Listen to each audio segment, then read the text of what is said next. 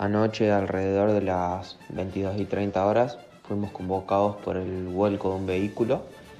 Esto se había desarrollado en la intersección de las calles Avenida de Mayo y Güemes.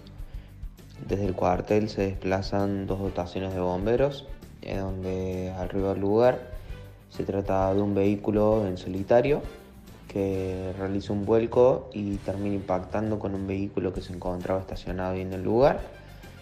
Dentro del vehículo volcado eh, había quedado en posición lateral, eh, se encontraba el único ocupante, su chofer, eh, aprisionado dentro del mismo, por lo que bueno, se realiza la estabilización del vehículo y luego se ingresa al mismo encontrándose con una persona consciente, con algunas escoriaciones y traumatismo obviamente producto del vuelco, en el cual es inmovilizado por personal de bomberos y luego trasladado hacia el hospital de Justiniano Pose.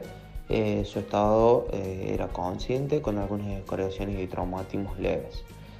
luego se realiza un servicio de seguridad y en el lugar evitando algún posible principio de incendio dado al derrame de algún tipo de fluido, obviamente el vehículo volcado.